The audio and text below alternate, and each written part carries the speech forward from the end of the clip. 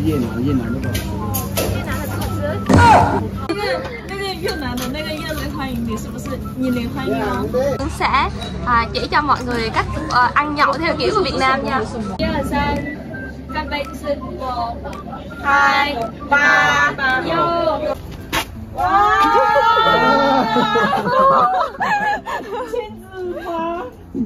Đây là bữa sáng của cả đoàn hôm nay. Đứng như thế này thì mọi người sẽ cảm nhận được là cái cái nhà này nó to hay là nhỏ nha. 这个海鲜很便宜哦，二十呃二十九块钱是吗？那边烧是多少钱？二十五十吗？ Hello mọi người, xin chào mọi người đã đến với kênh Phương China Vlog. Bắt tay vào làm youtube đến đây được một năm chỉ với mong muốn nhỏ bé là chia sẻ những trải nghiệm và cuộc sống xung quanh mình Đồng thời lan tỏa những thông điệp vui vẻ tích cực đến những người yêu thương mình. Không nghĩ rằng Phương có cơ hội tham gia vào chương trình của đài truyền hình như thế này. Lần đầu tiên xuất hiện trước nhiều ống kính chuyên nghiệp cộng thêm những rào cản về ngôn ngữ nữa trong quá trình làm việc, Phương thật sự rất là bối rối luôn đó mọi người. Trong chuyến đến Khăm Châu Quảng Tây lần này, Phương được đi tham quan những vườn cam rộng lớn Và biết được quy trình sản xuất trần bì để đưa vào phát triển kinh tế, Đồng thời xem mô hình nuôi hầu rộng lớn nhất của Quảng Tây mà Phương đã chia sẻ ở hai video trước. Nếu cô chú anh chị quan tâm về chủ đề này thì có thể xem lại nha. Phương cũng nhân cơ hội tham gia chương trình này để có thể giới thiệu đến nước bạn về văn hóa con người Việt Nam mình nữa. Video hôm nay mời cả nhà cùng Phương tiếp tục hành trình tại Khâm Châu, xem thử với vốn tiếng Trung ít ỏi này Phương có hoàn thành được tốt công việc hay không và xem Phương cùng các bạn Trung Quốc đã giao lưu văn hóa như thế nào trong chuyến đi này. Mọi người đừng quay ủng hộ Phương nhấn nút đăng ký kênh, like, chia sẻ và bình luận video này nha. Bây giờ thì mình sẽ xuất phát đi ăn tối. À, đằng sau Phương là có um, hai bạn quay phim và một bạn làm à, viết nội dung content. Ở phía bên này là anh trợ lý của Phương. và đằng trước là anh Sơn phiên dịch và một chị à, làm à, giống như là hướng dẫn quản lý quản lý mọi người à, và cũng kim lái xe luôn. Hôm nay thì một ngày làm việc cũng khá là vất vả. Đến giờ mọi người được nghỉ ngơi và ăn tối rồi. Hôm nay thì phương ở lại khâm châu. Và khâm châu thì à, gần với biển nên chắc chắn rồi. Tối hôm nay thì cả đoàn sẽ cùng nhau đi ăn hải sản.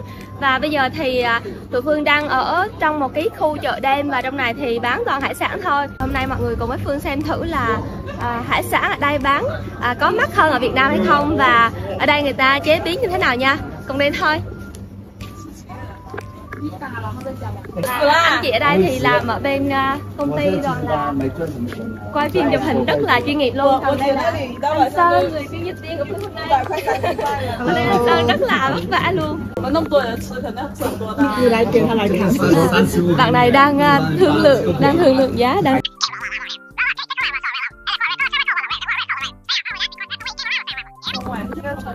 姜葱草，对啊，这个怎么卖啊？这个这种养殖的，这个石斑两斤的，对。你你不要看啊，都 Nói chuyện một hồi Phương mới biết nhà bạn nữ này cũng bán hải sản nên bạn ấy rất rành về hải sản. Nhìn qua là biết con nào nuôi, con nào đánh bắt được, loại nào bao nhiêu tiền. Cộng thêm anh chủ quán cũng vui tính nữa nên hai bên vừa lựa hải sản vừa trả giá rất là vui luôn.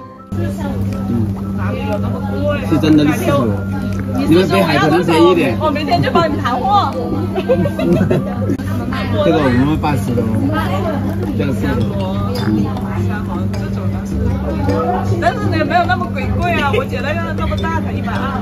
不贵啊怎么还有那一百二你这卖这么便宜这里至少卖一百八两百。因为它是直接从人的那里收购哦，那你一样的，你在海边呢。他批发的。真的六十八，真的没赚你钱，没你。你都留个过夜，不是过夜肉真的不够卖了，我这里你等上就知道，真的今天没有货。你把那些水挤出来。我都说节日给够称你的了，你不用担心这些。 bạn nữ này à, là phụ trách trong việc à, viết báo viết nội dung trong đoàn nhìn thì rất là trẻ chắc là trẻ hơn phương cũng khá là nhiều nhưng mà mọi người nhìn thấy là bạn ấy trả giá rất là chuyên nghiệp luôn chỉ có ông chủ ngại thôi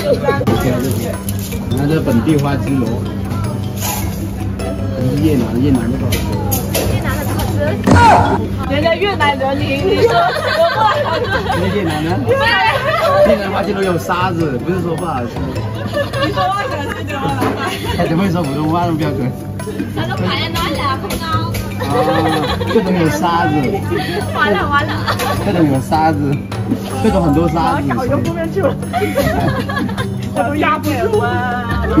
说话小心点。不是小心，就是说越南它它有沙子，这个没沙子，就是这样子。hơi chiều 一点 nhưng mà 有沙子吗。啊，对。ở đây có hai người Việt Nam lận. 你们那边海鲜也多。你那边海鲜也多。比中国这边便宜。便宜多了，你们那边。对呀，现在很多中国人去越南吃海鲜的。九十，现在九十。这个瘦啊！这个还瘦啊！人家都肥的。这个还好。太小了。我不用捏，我看就知道了，还用捏。三个够了吗？三个我称不了多重点。我我会骗你，在这里啊，也不是。人家说北海骗人。北海那里上网不是说那个饭店骗人的吗？一斤二两，不称的，不会骗人的。北海那里 不是。互相攻击那种。是真的啊，我们看到。Chủ đến nỗi sợ sợ bỏng nữa. Luôn rồi. Hầu ở đây thì ờ, có vẻ là to hơn với lại cái hầu của phương mua ở trên mạng. nhưng mà không biết là bao nhiêu tiền ờ, một ký. Xong hầu của chị gì? thì trên là bạn. Như vậy cơ. Như vậy như vậy như vậy là khoảng ờ, hai chục nghìn một con còn rẻ hơn ở Quý Châu. Nhưng mà không biết là so với ở Việt Nam thì giá như thế nào. Rất là to luôn và cũng khá là nặng. Đậu bắp nướng cà nướng rất là lâu rồi chưa ăn luôn. Hôm trước thì mình có ờ, thấy ở siêu thị rất là rẻ mình đã mua một bao. Năm năm con năm con nhưng mà về thì ờ, giống như là cao su ăn không được. Bây giờ thì ờ, mới có lại cơ hội để ăn ăn mực ăn mực này xong rồi bây giờ gọi đồ, ăn xong rồi sau một hồi thương lượng giá thì à, mình sẽ ra đây ngồi à, chờ ông chủ làm đồ ăn. Ngồi ở đây ăn cũng khá là chill đó. 呃，đây là món giống Việt Nam nhất mực à, mực à, nướng. Nhưng mà rất tiếc là không có tương ớt. Ở đây người ta sẽ chấm là sa tế. ừ, sa tế 试下试下，就是很像越南菜的。Món tiếp theo đã đến rồi. Đây là món gì? Nghêu hả anh? Nghêu. Và đây là gà, món yêu thích của mình. hải là hải sản. Tôi chuyên chơi thôi, con mà chỉ xem. Chị chị. Lại rồi, lại rồi, sau khẩu lại rồi thịt nướng 你可以拍你的 vlog。现在在拍等会儿我教你们怎么越南怎么干杯哦，可以。可以我也学一句越南，明天我会教你中文生蚝怎么念。那个那个越南的那个热烈欢迎你，是不是热烈欢迎哦？对对对对对对对对对对nhiệt liệt hơn anh 怎么知道的因为 我我堂我堂哥之前在越南工作教我的。啊哦还有一大时，就是不是一大时是不是我嗨吧？我那时候会担心的。对对是什么？一二三四五六七八。对啊。对很厉害啊你好厉啊害哦！嗯，我我们那边是喝酒喝啤酒，我们说一二三干杯，就是 một hai ba yo。dạ. anh Sơn anh Sơn đã bao lâu rồi chưa có cặp dắt một hai ba vô anh Sơn bây giờ thì tất cả món ăn đã được lên và mình sẽ bắt đầu bữa ăn.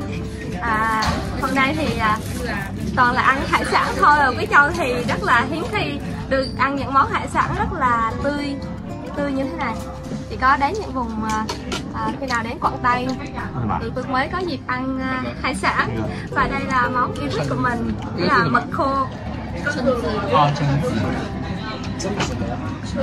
Làm dạ, thì cũng khá là giống ở Việt Nam nhưng mà thiếu. À, tương ớt.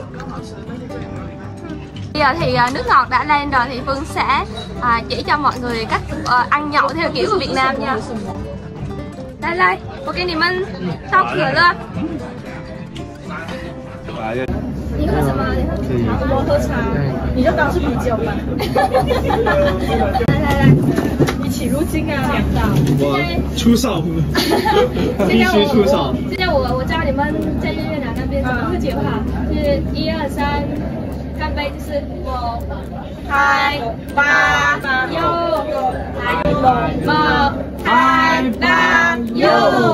然后还有，嗨，嗨，来来，重新来一次，来。来，来来，今天辛苦你们了，来来，每个人都辛苦了。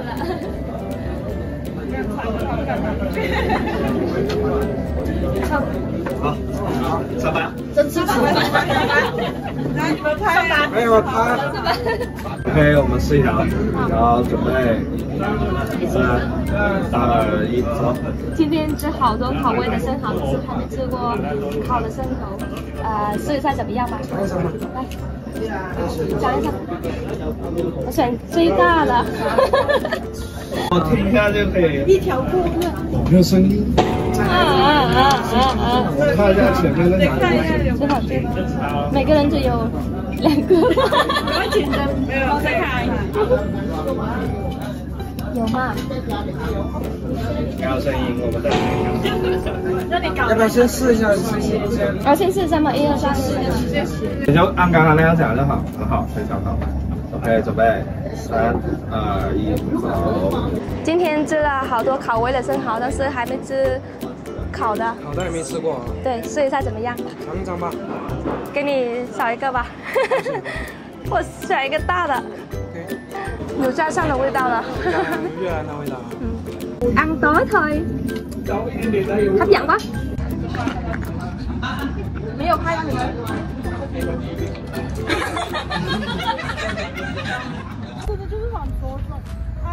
ăn tối xong à, bây giờ là gần 8 giờ tối. Đi kiếm khách sạn nhưng mà đi làm vào đây không biết là đang ở đâu nữa. Đoàn mình đã tìm một à, để đặt khách sạn trước rồi nhưng mà à, không biết là hướng nào. Ở phía trước mặt là biển có thể nghe được tiếng tàu à, thuyền đi đánh cá luôn. Ừ. nhưng mà mình thì à, giờ không biết ở chỗ nào. Chị trưởng đoàn sẽ gọi điện cho khách sạn. Cuối cùng thì cũng đã tìm ra khách sạn rồi. Khách sạn này thì cũng khá là độc đáo. Sát bờ biển luôn. Là ở đây thì mình có thể nghe được à, tiếng sóng biển. Đi lên xem thử là phòng ở bên đó như thế nào. À, mỗi người thì sẽ được đặt một à, phòng như thế này. Bây giờ thì khá là tối rồi cho nên là quay thì cũng không có rõ lắm. Cho mọi người xem trước cái phòng nha wow giống như là một cái phòng uh, container 可以试。 有空调啊嗯这个是有阳台，隔壁是没阳台，更大点。 Ờ. Mọi người à, cùng nhau đi à, tham quan tất cả các phòng rồi đi à, chọn phòng Mặc dù là cũng khá tối rồi 这个好一点，Tức là hỏi gì anh? 对啊，这个这个好一点，这个干大一点这个没有阳台，那个好，这没阳台。哦，对，那边有阳台，这个没有。哦，他就他是把那个闭，封封起来。那就看你是想要小客厅还是要小阳台。太 nặng là 东西 Trên đây bên à, lần đầu tiên ờ, thuê khách sạn mà mọi người ờ, ai cũng muốn đi xem thấy tất cả các phòng xem thử là phòng như thế nào. Tại vì à, anh chủ ở đây thiết kế phòng khá là đặc biệt. À, mỗi cái phòng thì khác nhau. Cho nên là rất là gây tò mò. Tụi phương thì đã à, bỏ hành lý ở đằng kia rồi cho nên là không muốn à, không muốn xách hành lý theo nữa cho nên là thôi mình quyết định là mình ở đằng kia.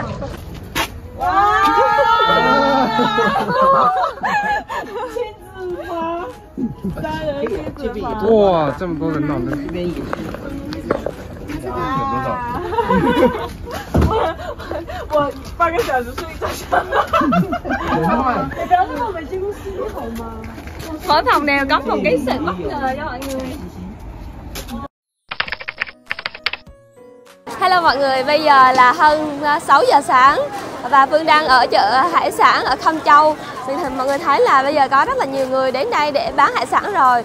À, cả đoàn mình sẽ chọn giờ sớm nhất để vào trong chợ tại vì à, muốn mua những cái hải, hải sản tươi sống nhất mà người ta mới đem ở chợ về. Bây giờ thì mọi người hãy cùng với phương đi vào phía trong chợ xem thử là hôm nay mình sẽ mua được hải sản gì nha. Ngày thứ ba thì lịch làm việc nhẹ nhàng hơn khá là nhiều, chỉ cần qua một đoạn ngắn Phương đi chợ mua hải sản thôi. 5 giờ sáng thì cả đoàn đã xuất phát đi chợ để có thể chọn mua được hải sản tươi nhất. Hải sản ở đây được các cô chú đánh bắt ở biển và đưa tới chợ bán luôn cho nên rất tươi và rẻ. Không biết có phải vì thấy tụi Phương quay phim không mà hôm nay Phương mua được khá nhiều tôm, gạ, cá rất là rẻ luôn.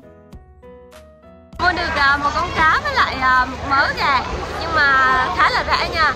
Chợ trong này thì à, tại vì bán đồ người ta mới vừa bắt về cho nên là khá là tươi sống. Khu chợ Phương thấy khá là rộng. Ngoài bán hải sản thì còn bán nhiều rau củ quả, thịt nữa hải sản này thì à, bây giờ cả đoàn mình sẽ đem về à, để chế biến cho bữa ăn trưa. Ngày hôm qua là ăn hải sản rồi cho nên là hình như ai cũng cảm thấy hơi ngán rồi.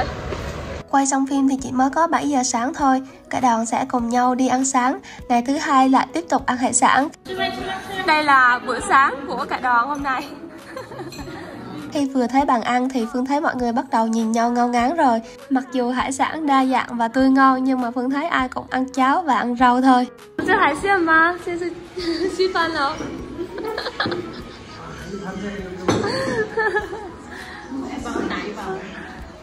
nhiều à, đồ ăn ngon hải sản nhưng mà ai cũng đi ăn cháo trước mày có định tôi chưa xí mà Phương tưởng là chỉ có mỗi Phương chưa, chưa bao giờ ăn bữa sáng đầy hải sản nhưng mà ở đây cũng có vài người chưa bao giờ ăn một bữa sáng đầy hải sản như thế này.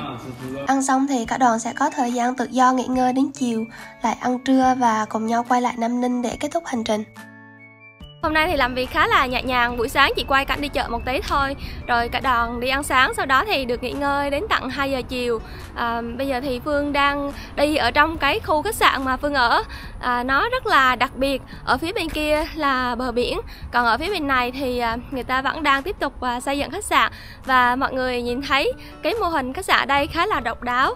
Những căn nhà đằng sau Phương thì à, giống như một cái mô hình con tàu vũ trụ vậy.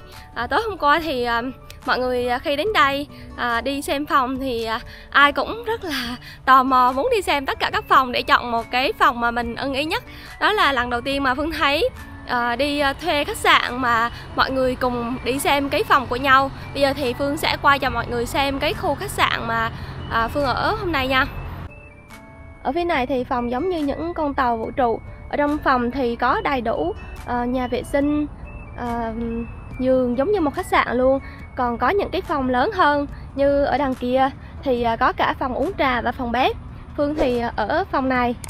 Mỗi phòng thì được thiết kế ở bên ngoài cũng như là bên trong khác nhau nữa cho nên là mọi người ai cũng rất là tò mò và thích thú. Ở phía đằng này là một cái phòng dạng hình cái lều. Ban đầu thì phương nghĩ là nó khá là nhỏ như thế này thì không biết làm sao ở cho đủ nhưng mà thật ra thì cũng vừa đủ uh, cho một phòng cho hai người ở đứng như thế này thì mọi người sẽ cảm nhận được là cái cái nhà này nó to hay là nhỏ nha à, cái hấp dẫn nhất của khu này đó là ngay ở đằng kia là biển rồi.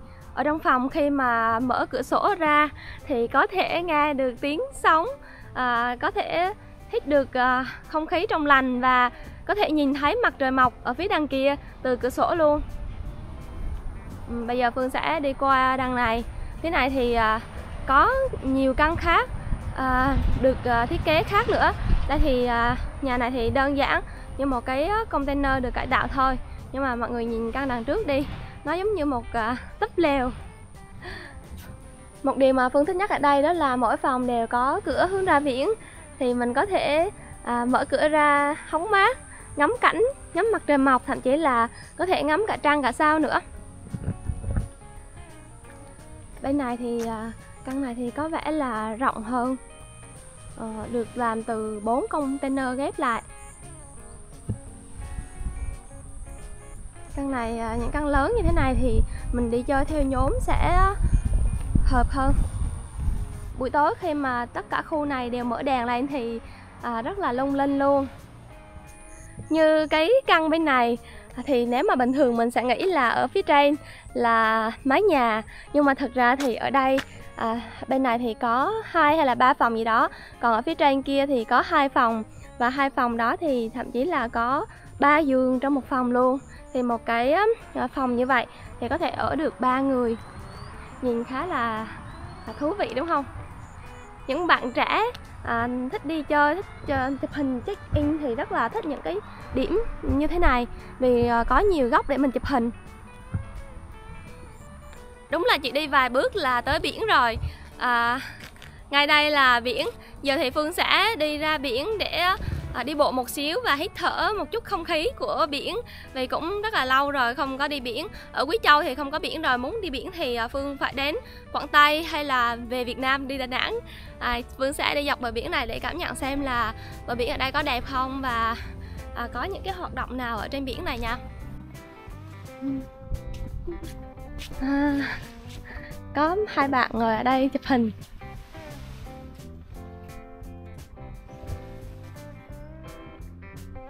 Tàu này người ta để đó chắc là để chụp hình thôi chứ. Cũng không đi vì nhìn nó rách nát quá rồi. Sạn này hình như cũng mới xây lên thôi cho nên là phương thấy ở phía sau cũng còn quy hoạch rất là nhiều. À, một cái là đây phương thấy có rất là nhiều à, à, hoạt động à, vui chơi trên bãi biển như là xe địa hình nè. Phía sau này phương thấy có những à, chiếc xe địa hình và có cả cano nữa. Quay cho mọi người xem ở phía trước nha góc này chụp hình, đứng ở trên chụp hình nhìn ra biển thì khá là đẹp đó.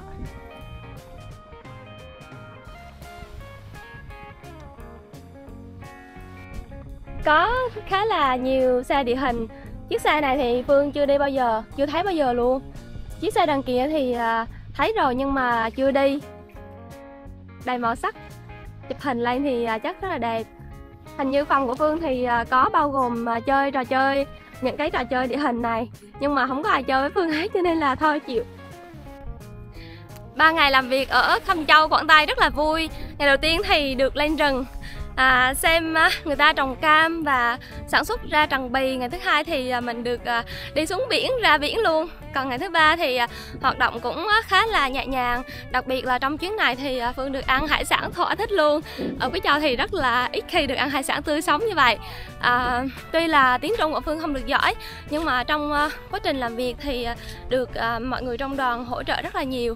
Nên là cũng may là công việc cũng diễn ra thuận lợi sau chuyến đi này thì Phương sẽ có một chuyến đi dài 10 ngày đến rất là nhiều địa điểm từ Thành Đô à, đến Thái Nguyên à, đến Tây An, đến Bắc Kinh thì sẽ đi qua rất là nhiều địa điểm đẹp luôn.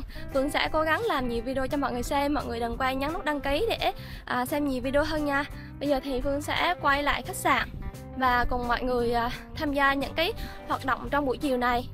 À, buổi trưa của cả đoàn sẽ ăn ở đây à, hình như là nhà hàng này cũng là nằm trong cái khu khách sạn của ông chủ luôn cho nên là kiến trúc cũng rất là giống. Mình sẽ ăn ở trên tầng 2 và và nhìn ra biển luôn. Xem thử là hôm nay à, ăn những món gì nha. Ngoài những hải sản mà tôi mua lúc sáng thì à, sẽ đặt thêm một vài món nữa. Chắc bây giờ mọi người nhìn thấy hải sản là thấy hơi bị mệt rồi đúng không?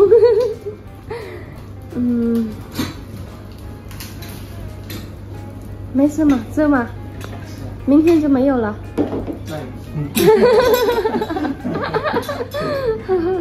Từ đây ngồi ăn nhìn biển ngắm biển rất là chiêu Người ta làm phòng kính như thế này mình ngồi trong này thì cũng không bị gió bụi Thôi ăn trưa thôi rồi lại tiếp tục công việc Cái này hải鲜很便宜哦，二十九块钱，是吧？那边沙是多少钱？二十。 五十吗？五十对，二十，很便宜。我们那个海鲜很便宜。可能是因为是你们，所以才便宜。我们这边看到你们拍的。哦，好，吃饭吧. Có thêm một uh, món gà nữa Chắc mọi người sẽ thích ăn gà hơn là ăn tôm Cua cá Rồi ăn trưa thôi Mọi người mọi người xem ở đằng sau kìa có một anh đang ờ, giúp tụi Phương quay một cái vlog. Hôm nay vlog khá là xịn đó. Trong xa, quý vị xa hải. Quý vị chưa xin xin gặp Hải Xuyên Quán hẳn khai xin Chủ chí mây, hãy đi hãy giao lại. À, như thế Và nếu chị ở đâu là Vậy tao học trang không chứa đi sử dụng chiều. Ý làn chẳng kì Đại kiến chẳng kì sân hóa trên 还了解到了周大豪文化的魅力。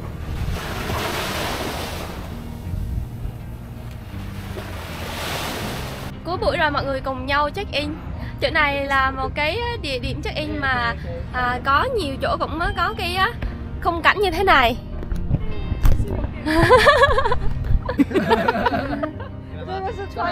他不要， 他不要走下来，他跳下来。你不要跳下来了，我要负全责的。 anh nhảy xuống luôn khỏi cần đi bộ xuống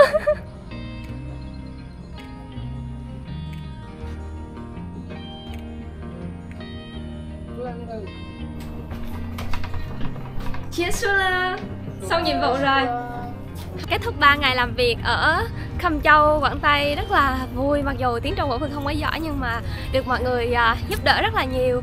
Và trong quá trình làm việc thì à, cũng cảm nhận được à, một cái sự rất là thân thiện của anh chị trong đoàn Cũng như là mọi người ở đây.